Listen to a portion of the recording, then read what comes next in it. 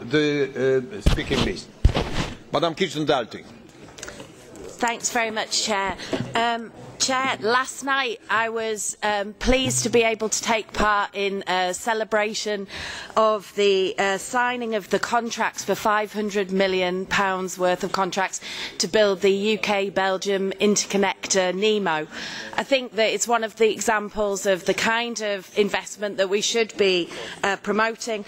I totally um, uh, support the call for binding energy efficiency and renewables targets. This is about changing our economy creating jobs, ensuring security of supply, ensuring that we have an energy system which is there for decades to come and not just for a very short term uh, gain. But I would just like to say one extra thing. I think we have to be clear that CCS is part of all of the models done within the, uh, the International Energy Agency in terms of cost effective shifts to a 2050 vision of climate and energy policy.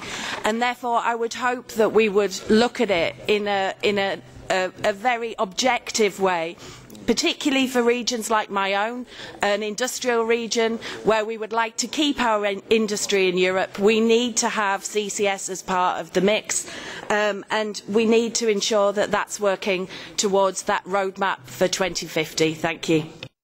Thank you very much, Madam, for your speech. And Madam